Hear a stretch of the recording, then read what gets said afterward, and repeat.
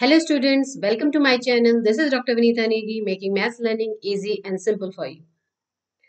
So इससे पहले वाली वीडियो में हमने फैब 2022 के पार्ट बी के क्वेश्चन सॉल्व किए थे मैथमेटिकल साइंसेज में फॉर सी एस नेट और उसी में पार्ट टू की तरफ़ हम बढ़ेंगे पार्ट बी के ही कुछ और क्वेश्चन हम आज यहाँ पे डिस्कस करने वाले हैं सो so, यहाँ पे पहला क्वेश्चन है आपके पास एक सीक्वेंस दे दी ठीक है और आपको बताना है लिमिट सुप्रीमम और लिमिट इन्फिमम की value for this sequence so जब भी हम सीक्वेंस की बात करते हैं लिमिट सुप्रीमम लिमिट इन्फिमम हमको उस सीक्वेंस के लिए सबसे बड़ी लिमिट और सबसे छोटी लिमिट की वैल्यू दे देती है। जनरली हम क्या करते हैं हमारे पास एन के ऊपर डिपेंडेंसी होती है एन आपका इवन है या ऑड उसके अकॉर्डिंग आपकी वो सीक्वेंस आपको limit n tends to infinity पे वो पॉइंट वो वैल्यू दे देती है। ओके okay, सो so यहाँ पे आपके पास जो ये n है this n is even and n odd है, इस केस में आपको दो वैल्यूज़ मिलेगी, वहाँ से ही आपको लिमिट सुप्रीमम लिमिट इन्फिमम मिलेगा। ठीक है? तो हमने क्या किया, जब n इवन है तो minus one to the power n जहाँ जहाँ है, वो पॉजिटिव वन हो जाएगा। ठीक है ना? So the sequence a n is equal to three plus five upon two power n plus one by four plus two by n लेकिन जब एन ऑड है so minus one to the power n is equal to minus one so the sequence will be three minus five upon two power n minus one upon four plus two by n अब हमें क्या करना है? Limit N tends to infinity put करना है, तभी आपको limit supremum limit infimum की वैल्यू मिलेगी. Okay so for this one even वाला केस में अगर हम limit n tends to infinity put करते हैं तो this will be zero this will be zero so three plus one by four thirteen by four आ गया for even value ठीक है? Similarly limit n tends to infinity जब हमने odd के case में रखा सो so ये वैल्यू और ये वैल्यू आपकी ज़ीरो हो गई when n tends to infinity so value remaining है three minus one by four this is equal to eleven by four for n की वैल्यू अगर ऑड है तो। So, this is the lesser one तो limit infimum आ गई. This is the greater one this is limit supremum. So limit supremum limit infimum आपको कैसे मिलेगा? आपको n की वैल्यू इवन या ऑड रखने पे, अगर डिफरेंट वैल्यूज़ मिलती हैं तो लिमिट सुप्रीमम लिमिट इन्फिमम आपको डिफरेंट मिलेंगे. अदरवाइज़ अगर आपको limit supremum limit infimum common मिल जाता है so this is the limit for the sequence okay so इस तरीके से थर्टीन बाई फोर हमारा लिमिट सुप्रीमम है लिमिट इन्फिमम है. Eleven by four so b is the answer ठीक है ना? चलिए नेक्स्ट क्वेश्चन एक थ्योरेटिकल क्वेश्चन है। आप इसे एग्ज़ाम्पल लेके भी कुछ रॉन्ग ऑप्शन को डिस्कार्ड करके भी कर सकते हो डायरेक्ट भी सॉल्व कर सकते हो बाय एलिमिनेशन भी कर सकते हो। आपके पास चार स्टेटमेंट्स दिए हैं, आपको बताना इनमें से कौन सा स्टेटमेंट ये कह रहा है कि सेट आपका काउंटेबल है। पहला सेट है आपका पॉलिनोमियल्स का विद रेशनल कोफिशियंट्स दूसरा सेट है आपका पॉलिनोमियल्स का with real coefficients having rational roots so अगर आप कोई भी पॉलिनोमियल लेते हो, आपके पास ए ज़ीरो है ए वन एक्स है and so on x power n के अकॉर्डिंग अगर आपके ये ए ज़ीरो ए वन ये वैल्यूज़ हैं, कुछ भी आ सकते हैं from R real coefficient but roots आपको रेशनल मिल रहे हैं. सो डिफरेंट पॉसिबिलिटीज हैं आपके पास. ठीक है ना? बिकॉज़ ये ए ज़ीरो ए वन आपके कहाँ से आ रहे हैं? आर से आ रहे हैं। वी नो दैट आर क्या है? अनकाउंटेबल है। सो दिस इज़ अनकाउंटेबल ये आपका आंसर नहीं होगा। ठीक है? For two by two real matrices with rational eigenvalues okay तो two by two real matrices के लिए आपको जो वैल्यूज़ मिलेंगे आइगन वैल्यूज़ वो रेशनल आइगन वैल्यूज़ होंगे। तो हो सकता है हम, हमारा जो करेक्टरिस्टिक पॉलिनोमियल हो गया that is a x x minus one ठीक है ना? X is equal to zero x is equal to one आपको दो आइगन वैल्यूज़ मिल जाती है। ओके बट यहाँ पे ये a है। This is a constant value this a is coming from r again ये अनकाउंटेबल हो जाएगा। सिमिलरली हम इसको भी डिस्कार्ड कर सकते हैं। जब आप सारे के सारे रियल मैट्रिसेस ले रहे हैं, जिसका रो एक्लोन फॉर्म आपको रेशनल एंट्रीज दे रहा है। तो अगर मैं एग्ज़ाम्पल के तौर पे एक ऐसा मैट्रिक्स ले लू this is row echelon form this is a this is b ये ज़ीरो है, ये एल्फा एल्फा आपकी कोई भी रियल वैल्यू हो सकती है. ए भी आपके पास रेशनल वैल्यूज़ है आइगन वैल्यूज़ है आपके. बट एल्फा आपके पास कहाँ से आ रहा है? आर से आ रहा है. So this is again uncountable ठीक है ना? तो मतलब अगर आपके पास कोई पॉलिनोमियल है जहाँ ए ज़ीरो ए वन आपके रियल कोफिशियंट्स है सो अनकाउंटेबिलिटी मिल जाती है. ठीक है ना? लेकिन अगर मैं बात करूँ कि मेरे पास जो पॉलिनोमियल है विद रेशनल कोफिशिएंट्स है, यहाँ पे जो आपके ए ज़ीरो ए वन आ रहे हैं these are coming from coming from rationals and we know that rational आपका कैसा होता है? काउंटेबल होता है. तो I can say this is the correct one so directly आपको पता है कि set of polynomials with rational coefficients हमेशा काउंटेबल हो सकता है। डायरेक्टली भी आप इसे करेक्ट कर सकते हैं। बाकी for option second third and fourth आप उसे एलिमिनेट कर सकते हैं। You can take example to discard option two three and four okay तो या तो सीधे सीधे करेक्ट आंसर मिल जाता है, या तो तीन रॉन्ग आंसर मिलके आप उसे डिस्कार्ड कर सकते हैं। बाकी जो बचा उसको आप चेक कर सकते हैं। That is the correct answer ठीक है जी? नेक्स्ट है क्वेश्चन यहाँ पे। फ़ंक्शन आपके पास है एफ़ और g from R to R function f x कैसा है? एक्स स्क्वायर टाइप का। जी एक्स कैसा है? साइन एक्स टाइप का। आपको बताना है g of f x g x f x f g x and f x plus g x इनमें से कौन सा यूनिफॉर्मली कॉन्टिन्यूस है ऑन आर सो जब हम यूनिफॉर्म कॉन्टिन्यूटी की बात करते हैं तो अगर किसी फ़ंक्शन का डेरिवेटिव हमें बाउंडेड मिल जाता है तो it is sufficient to prove कि वो यूनिफॉर्मली कॉन्टिन्यूस होगा। अदरवाइज़ वो बाउंडेड नहीं है। आपको लिमिट की वैल्यू इन्फिनिटी रखने पे या माइनस इन्फिनिटी रखने पे इन्फिनिटी मिल जाती है तो यू विल से कि वो यूनिफॉर्मली कॉन्टिन्यूस नहीं होगा। तो केवल एक ही ऑप्शन ऐसा मिलेगा जो यूनिफॉर्मली कॉन्टिन्यूस होगा जिसका डेरिवेटिव आपको बाउंडेड मिलेगा बाकी तीन के नहीं मिलेंगे। चेक करके देखते हैं इसमें।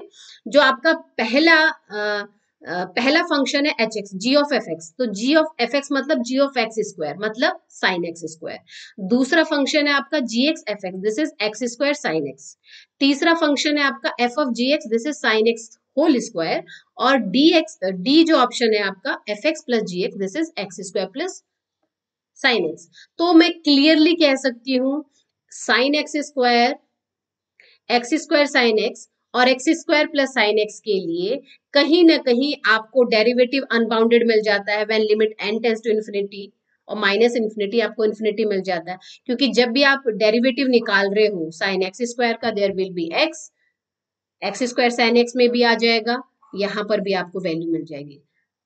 ओके सो यहाँ डेरिवेटिव आपको अनबाउंडेड मिलेगा। यहाँ डेरिवेटिव आपको अनबाउंडेड मिलेगा। यहाँ डेरिवेटिव आपको अनबाउंडेड मिलेगा। केवल ऑप्शन सी है।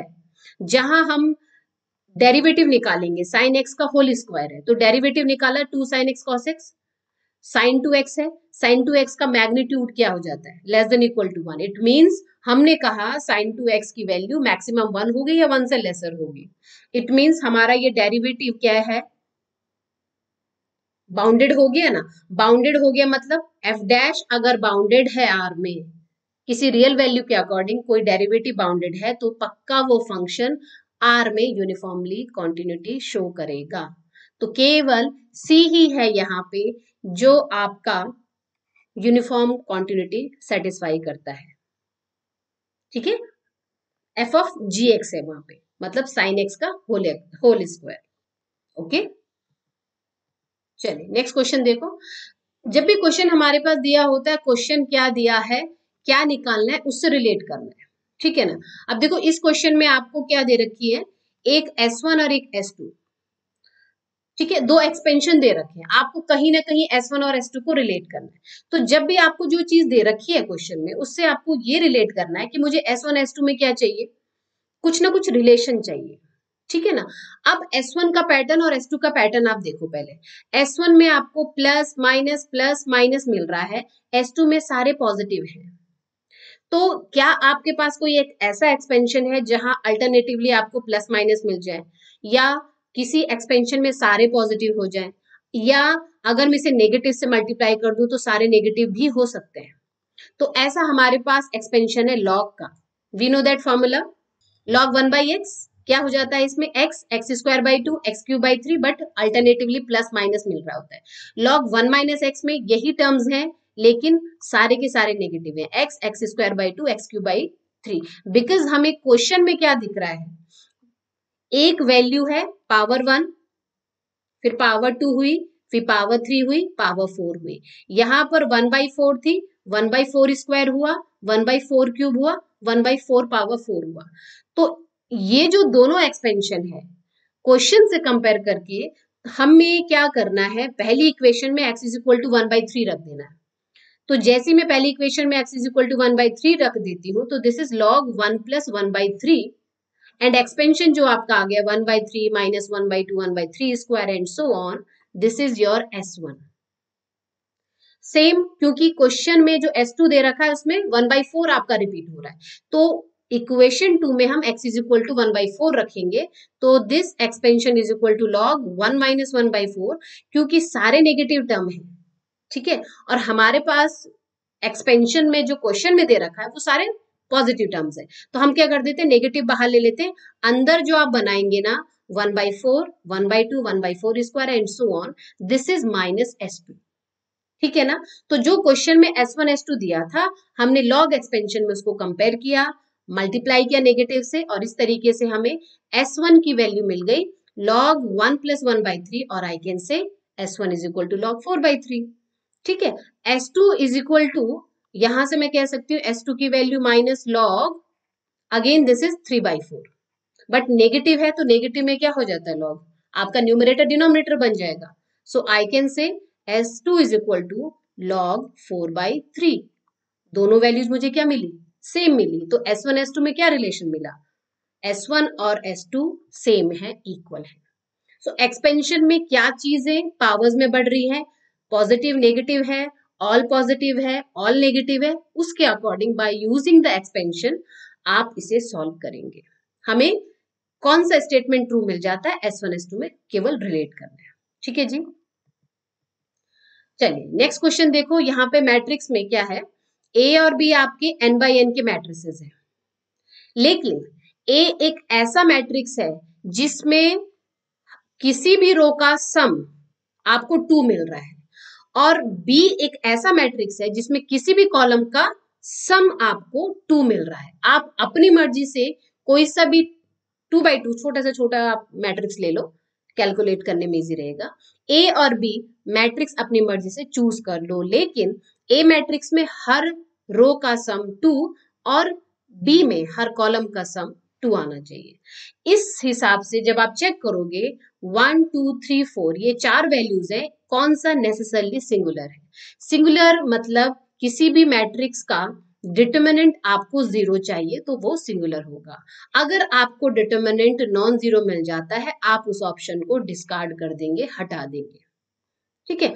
तो मैंने ए ले लिया वन वन टू ज़ीरो क्योंकि रो वाइज मुझे टू मिल रहा है सम बी मैंने ले लिया three minus one one one मुझे कॉलम वाइज टू टू मिल रहा है, ठीक है? इस तरीके से आप अपनी मर्ज़ी से two by two three by three कोई भी मैट्रिक्स चूज़ कर लो। टू बाई टू हम इसलिए लेते हैं क्योंकि कैलकुलेशन इजी हो जाती है, छोटे कैलकुलेशन हो जाती है। अब क्वेश्चन के अकॉर्डिंग वहाँ पे i minus one by four one by two A B है तो हमने ए एंड बी का प्रोडक्ट कर दिया रो बाई कॉलम जैसे मल्टीप्लाई करते हैं। This row by this way two आ जाएगा this row by the second column हमें टू मिल जाएगा। Similarly six and two this is your A B अब ऑप्शन बी एंड सी में one by four A B है one by four one by two A B है। तो पहले हम देखते हैं I minus one by two A B क्या मिला। इसे कैलकुलेट करते हैं। So zero minus one minus three zero so this is zero but यहाँ से हमें डिटर्मिनेंट थ्री मिल जाता। That is not equal to zero singular नहीं हो सकता। ये वाला option wrong I minus one by four A B को कैलकुलेट किया तो one by two minus one by two minus three by two one by two ये भी कैलकुलेट करेंगे डिटर्मिनेंट नॉन ज़ीरो सिंगुलर नहीं हो सकता दिस ऑप्शन रॉन्ग अब नेक्स्ट जो ए एंड डी है, वहाँ पे बी ए डैश के अकॉर्डिंग कैलकुलेशन करनी है तो आपने बी को एज इट इज़ रखा, जो ए मैट्रिक्स है, उसका डैश उसका ट्रांसपोज कर लिया रो को कॉलम बना दिया तो वन वन कॉलम बन गया टू ज़ीरो कॉलम बन गया। B A dash row wise column wise आपने कैलकुलेट किया तो four six zero minus two normal जैसे कैलकुलेट करते हैं, आपने निकाल लिया। ए और डी ऑप्शन को चेक करते हैं। तो I minus one by two B A dash आपने कैलकुलेट किया तो आपको मिल गया minus one minus three zero two कहीं भी आपको डिटर्मिनेंट ज़ीरो नहीं मिलेगा। This determinant is not equal to zero ये भी आंसर नहीं है। तो आप कह सकते हैं, ये तीन option A option B option C non zero है तो हमारा सिंगुलर हो नहीं सकता तो डी आंसर है। बाकी डी को चेक भी कर सकते हैं आप।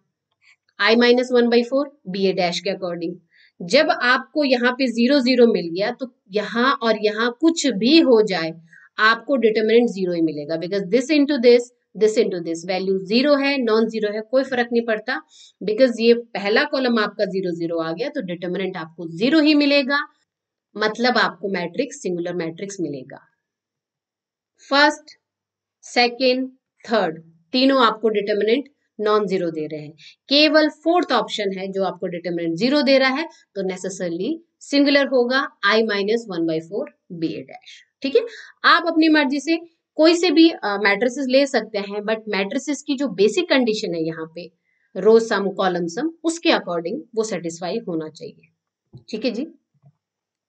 चलिए नेक्स्ट क्वेश्चन यहाँ पर आपके पास एन की वैल्यू वन से ग्रेटर है, किसी भी फिक्स नेचुरल नंबर के अकॉर्डिंग और आपको ये बताना है कि N by N real symmetric matrices के अकॉर्डिंग आपको कौन सा एक इनर प्रोडक्ट मिलता है? अब देखो इनर प्रोडक्ट आपके पास दो मैट्रिक्स है A and B trace A trace B trace A B determinant A B trace A plus trace B कौन सा एक इनर प्रोडक्ट स्पेस डिफाइन करेगा? अब देखो इनर प्रोडक्ट स्पेस की मेन कंडीशन होती है इनर प्रोडक्ट आपको कैसा चाहिए? That is always greater than equal to zero and अगर वो ज़ीरो है इनर प्रोडक्ट तो वो ज़ीरो तभी होगा अगर आपका ए एंड बी ज़ीरो है तो। यही दो कंडीशन आपको रॉन्ग ऑप्शन को डिस्कार्ड करवा देगी करेक्ट आंसर आपको मिल जाएगा। वैसे भी आपको ये पता होना चाहिए कि कोई भी दो मैट्रिसेस हैं आपके पास रियल सिमेट्रिक मैट्रिक्स तो ट्रेस ऑफ़ ए बी हमेशा inner product space define करता है। बाकी ऑप्शन पहला थर्ड एंड फोर्थ आप डिस्कार्ड कर सकते हैं। एग्ज़ाम्पल से देखो। सपोज़ मैंने कहा, कोई भी मैंने मैट्रिक्स लिया minus alpha zero zero zero, और बी ले लिया एल्फा ज़ीरो ज़ीरो। एल्फा आपकी कोई भी रियल वैल्यू है, कोई भी रियल वैल्यू तो ए एंड बी के लिए जो इनर प्रोडक्ट आएगा according to trace A trace B तो ट्रेस ए क्या आ गया माइनस एल्फा ट्रेस बी क्या आ गया एल्फा तो प्रोडक्ट कितना आया? Trace A into trace B that is minus alpha square so this is negative but हमें तो पॉजिटिव डेफिनेट चाहिए। हमें वैल्यू हमेशा ग्रेटर देन ज़ीरो चाहिए। या ज़ीरो भी हो सकती है बट पॉजिटिव चाहिए नेगेटिव नहीं चाहिए। तो ये तो ट्रेस ए ट्रेस भी किसी भी हाल में इनर प्रोडक्ट नहीं डिफाइन करेगा। अब मैंने अगर इनर प्रोडक्ट निकाला ए और बी नॉन ज़ीरो है। ठीक है ना? आपका ट्रेस ए भी नॉन ज़ीरो है, आपका ट्रेस बी भी नॉन ज़ीरो है। जब मैं सम कर रही हूँ ट्रेस से ट्रेस बी को इनर प्रोडक्ट के अकॉर्डिंग तो मुझे क्या मिल जा रहा है? ज़ीरो दो नॉन ज़ीरो वैल्यू के लिए मुझे इनर प्रोडक्ट ज़ीरो नहीं मिल सकता। ये भी आपका इनर प्रोडक्ट की कंडीशन सेटिस्फाई नहीं करता है। बिकॉज़ इनर प्रोडक्ट अगर ज़ीरो है तो आपका ए एंड बी दोनों ज़ीरो होने चाहिए मैट्रिक्स ठीक है? डिटर्मिनेंट ए भी आपका पहले ही डिस्कार्ड हो जाएगा क्योंकि डिटर्मिनेंट ए भी आपका पॉजिटिव डेफिनेट नहीं होता। ठीक है ना? क्योंकि आपको ए बी का डिटर्मिनेंट नेगेटिव भी मिल सकता है। हमें किसी भी हाल में इन प्रोडक्ट स्पेस नेगेटिव नहीं मिल सकता। तो ये हम पहले भी डिस्कार्ड कर सकते हैं। ठीक है ना? तो ये तो आप सीधे सीधे डिस्कार्ड कर दोगे। पॉजिटिव डेफिनेट नहीं होता। है ऑप्शन पहला वाला और फोर्थ वाला, कोई भी एग्ज़ाम्पल लेके आप डिस्कार्ड कर देंगे। बाकी ऑप्शन सेकंड आपका श्योरली करेक्ट है। किन्हीं भी दो सिमिट रियल सिमेट्रिक मैट्रिक्स के लिए जो ट्रेस ऑफ़ ए बी होगा, वो हमेशा इन प्रोडक्ट डिफाइन करेगा। ठीक है ना? सो पार्ट बी में कभी कभी अगर क्वेश्चन डायरेक्टली ना सॉल्व हो रहा है तो बाय एलिमिनेशन अगर आपको तीन रॉन्ग आंसर मिल जाते हैं तो जो तीन रॉन्ग आंसर आपने हटाए, जो बचा रिमेनिंग उसको आप कंफर्म करके कह सकते हैं दिस इज़ योर आंसर आप उसे दोबारा चेक कर सकते हैं एंड श्योरली आप कह सकते हैं this is the correct answer चलो, एक और क्वेश्चन देखिए। यहाँ पे हमारे पास V एक ऐसा कलेक्शन है जहाँ ए टाइप के मैट्रिक्स आ रहे हैं थ्री बाय थ्री टाइप के मैट्रिक्स और A dash plus A is equal to something R into I ठीक है ना? आई आपका आइडेंटिटी मैट्रिक्स है। मतलब आप कोई भी थ्री बाय थ्री मैट्रिक्स लोगे अपनी मर्ज़ी से, और इस थ्री बाय थ्री मैट्रिक्स का जब ए के according this is a three by three matrix A का ट्रांसपोज किया आपने प्लस ए करोगे तो this is something real value in some identity matrix three by three का. ऐसा कुछ मिलेगा आपको। ऐसा कुछ मिलेगा। ठीक है? दूसरी चीज़, आपका जो ये ए है, इस ए के लिए जब हम क्वाड्रेटिक इक्वेशन बनाते हैं this Q A is trace A square minus trace A square देखो ट्रेस ए का होल स्क्वायर है एंड ये ए स्क्वायर का ट्रेस है, ठीक है? डिफरेंस समझो। ये आपका ट्रेस ए का स्क्वायर है और ये ए स्क्वायर का ट्रेस है। तो किसी तरीके से हमें ए निकालना है ए स्क्वायर निकालना है, दोनों का ट्रेस करके माइनस करके, वो तो आप उसे मैट्रिक्स कन्वर्ट कर सकते हो। आपको केवल सिग्नेचर बताना है। सिग्नेचर आपको क्या बताता है कि आपके पास जो आइगन वैल्यूज़ मिली, वो किस टाइप की है? पॉजिटिव है नेगेटिव है ज़ीरो है। तो अगर आपको वो मैट्रिक्स मिल गया और आपको डायगनल एंट्रीज मिल गई तो वो डायगनल एंट्रीज ही आपको बता देती है सिग्नेचर के बारे में। तो हम शुरुआत क्या करते हैं कि कोई भी थ्री बाई थ्री मैट्रिक्स जिसके लिए A dash plus A is equal to some real multiplied with identity matrix तो हमने सपोज़ कर लिया ए मैट्रिक्स है हमारा A B C D E F G H I आप कुछ भी अपने according A one one A one two generally ले सकते हैं। ठीक है, कुछ भी एग्ज़ाम्पल ले सकते हैं थ्री बाई थ्री का। इस ए का जब मैंने ए ट्रांसपोज किया और सम किया तो अल्फ़ा किसी रियल वैल्यू के लिए I can multiply alpha one zero zero zero one zero and zero zero one ठीक है ना तो ये मुझे alpha zero zero zero alpha zero zero zero alpha मिल जाता है। अब हम क्या करते हैं, इसको सिंप्लीफाई करते हैं। We know that A plus B is equal to C तो हर एलिमेंट्स का sum this plus this is equal to this हो जाएगा ना? बाकी सारी वैल्यूज़ ज़ीरो हैं। तो यहाँ से हमें क्या कंक्लूड हो जाता है? जो डायगोनल एंट्रीज हैं, वो अल्फ़ा से रिलेट हो रही है। So two A two E two I this is alpha okay तो one by one B plus D D plus B G plus C H plus F C plus G ये हमें relation दे देते हैं। तो यहाँ से हमें क्या चीज़ें मिल जाती है? डायगोनल में आपको alpha by two alpha by two alpha by two मिल जाता है। बी प्लस डी क्योंकि ज़ीरो है sum so this is B this is minus B G plus C क्योंकि ज़ीरो है so this is C this is minus C F plus H क्योंकि zero है so this is F this is minus F so मतलब diagonal में आपको entries मिल गई non diagonal entries आपको B minus B C minus C F minus F मिल गया। आपको ए मैट्रिक्स मिल गया। अब आपने क्या किया? ए स्क्वायर निकाला this is A into A multiply करेंगे तो हम केवल डायगोनल एंट्रीज पे कंसंट्रेट करेंगे, ठीक है? नॉन डायगोनल हमें क्या मिला? इसको हम फ़िलहाल इग्नोर कर देते हैं, क्योंकि हमें डायगोनल एंट्रीज ही ये बताएँगी कि आपको सिग्नेचर क्या मिलता है। ठीक है जी? तो आपने क्या किया? फ़र्स्ट रो को फ़र्स्ट कॉलम से मल्टीप्लाई किया। Alpha square by four minus B square minus C square मिल गया। ठीक है? सेकेंड रो को सेकेंड कॉलम से मल्टीप्लाई किया। तो minus B square plus alpha square by four minus F square मिला। और थर्ड रो को थर्ड कॉलम से मल्टीप्लाई किया तो you are getting minus C square minus F square minus alpha square by four केवल हमें डायगनल एंट्रीज चाहिए non diagonal नहीं। क्यों? क्योंकि हमें क्या निकालना है? ट्रेस क्या होता है? किसी भी मैट्रिक्स का ट्रेस डायगोनल एंट्रीज का सम इसीलिए हम डायगोनल पे कंसंट्रेट करें नॉन डायगोनल पे नहीं जा रहे उसको इग्नोर कर दो। सो so, ये ए स्क्वायर है ठीक है? ए स्क्वायर का ट्रेस मतलब डायगोनल एंट्रीज का सम सो so, इन सबको सम करेंगे तो alpha square by four three times आ जाएगा। So three by four alpha square बाकी minus two B square minus two C square minus two F square और जो हमारा ए था अगर मैं कहूँ दिस इज़ योर ए तो यहाँ पर भी डायगोनल एंट्रीज का सम ट्रेस दे देगा। सो so, ए का ट्रेस क्या आ जाएगा? Alpha by two alpha two alpha by two three by two alpha आपका जो क्वेश्चन है जो क्वाड्रेटिक इक्वेशन आपको निकालनी है this is trace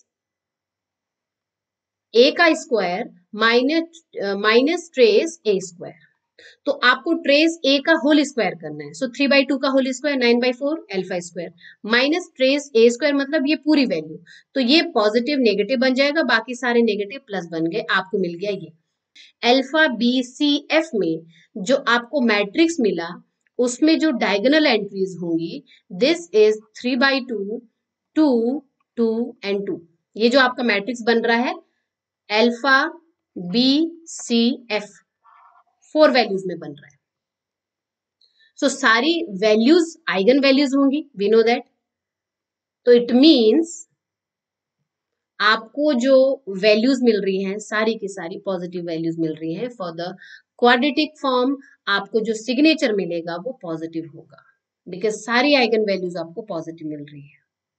Okay okay? तो मतलब अगर आपको क्वाड्रेटिक फॉर्म मिल जाती है एंड क्वाड्रेटिक फॉर्म को जब आप एक्सप्रेस करते हो मैट्रिक्स के फॉर्म में तो वो मैट्रिक्स किस टाइप का है मैट्रिक्स में वैल्यूज़ किस टाइप की है तो बड़े आराम से आप बता सकते हैं कि आपको सिग्नेचर क्या मिल रहा है मैट्रिक्स का डिटर्मिनेंट क्या मिल रहा है। केवल आपको क्वाड्रेटिक फॉर्म को डिफाइन करना होगा मैट्रिक्स में। ये आपको पता है कि क्वाड्रेटिक फॉर्म में जब भी आपको X square Y square Z square मिलता है सो ये आपको डायगनल एंट्रीज के बारे में बात कर रहे हैं। इनके जो कोफिशियंट्स हैं, वो डायगनल एंट्रीज को शो करेंगे X square Y square z square. This is quadratic form. चलिए, so this is all about today's video और नेक्स्ट पार्ट में हम पार्ट बी के कुछ और रिमेनिंग क्वेश्चंस करने वाले हैं इसी तरीके से वीडियोस को देखते रहिए, पढ़ते रहिए, सीखते रहिए और कोई भी टॉपिक से रिलेटेड कोई वीडियो आपको चाहिए तो कमेंट ज़रूर करिएगा। आपको कैसा लगा? कुछ इम्प्रूवमेंट की ज़रूरत है? ये आप कमेंट सेक्शन में ज़रूर लिखिए। और अन अकेडमी पे भी मैं सी एस की प्रिपरेशन करवा रही हूँ। वहाँ पर भी आप मुझे फॉलो कीजिए। D R Negi this is my referral code आप अगर फ़र्स्ट टाइम प्लेटफॉर्म पे आते हैं सो अनलॉक कीजिए आप प्लस क्लासेस के लिए फ्री क्लासेस के लिए। डिटेल में सारे कोर्स आपको unit one unit two unit three मिलेगी। कॉन्सेप्ट थ्योरी एंड क्वेश्चन सारे होंगे वहाँ पे तो वहाँ भी मुझे फॉलो कीजिए। और कैसे आपको वीडियो लगा प्लीज़ कमेंट सेक्शन में ज़रूर लिखिएगा। Thank you so much bye bye